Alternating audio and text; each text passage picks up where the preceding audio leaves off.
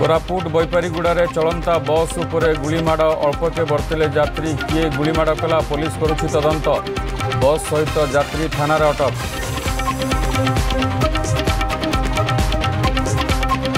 ଓଡ଼ିଶାରେ ବନ୍ଦେ ଭାରତ ଏକ୍ସପ୍ରେସ୍ର ଶୁଭାରମ୍ଭ କଲେ ପ୍ରଧାନମନ୍ତ୍ରୀ ନରେନ୍ଦ୍ର ମୋଦି ପୁରୀରୁ ହାଓଡ଼ା ଅଭିମୁଖେ ଗଡ଼ିଲା ଅତ୍ୟାଧୁନିକ ସେମି ହାଇସ୍ପିଡ୍ ଟ୍ରେନ୍ ଓଡ଼ିଶା ପାଇଁ ନୂଆ ସମ୍ଭାବନା ଆଣିବ କହିଲେ କେନ୍ଦ୍ରମନ୍ତ୍ରୀ ଧର୍ମେନ୍ଦ୍ର ପ୍ରଧାନ রেলমন্ত্রী অশ্বিনী বৈষ্ণবক সূচনা খুব শীঘ্র আরম্ভ হব বন্দে মেট্রো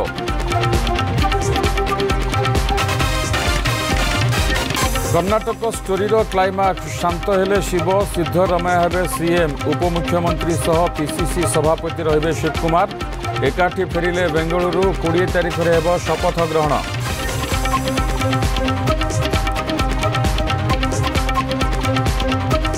अठाईस नुआ पार्लमेंट बिल्डिंग रेब लोकार्पण शुभ उद्घाटन करेंगे प्रधानमंत्री मोदी को भेट निमंत्रण जनइले बाचस्पति एम बिर्ला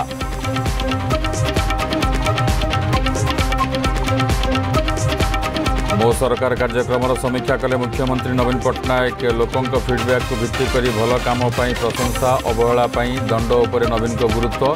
पेंशन प्रदान में विलंब आदौ ग्रहणीय नुहे प्रत्येक विभाग समीक्षा कर तुरंत पदक्षेप मुख्यमंत्री निर्देश